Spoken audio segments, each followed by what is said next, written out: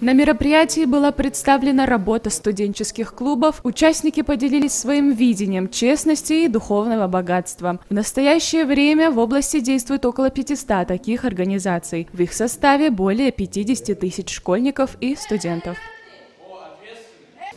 агенттік қызметінің негізгі басым бағыттарының бірі алдын алу Противодействие коррупции – один из важнейших стратегических приоритетов и уникальность казахстанской политики. Понятно, что формирование антикоррупционной культуры у подрастающего поколения занимает большое место. В связи с этим на студентов и педагогов возлагается ответственность. Целенаправленно проводится формирование антикоррупционных стандартов поведения подростков в образовательном пространстве Акмольской области. Особое место в работе в данном направлении занимает добровольное объединение студентов Саналы Урпак. бүгінгі таңда яғни колледжішілік барлық Сегодня мы собрались с целью дальнейшего развития проекта Санала Урпак. Зная основную цель этого проекта, мы формируем будущее поколение в нашей стране как патриота и любящего свою страну гражданина.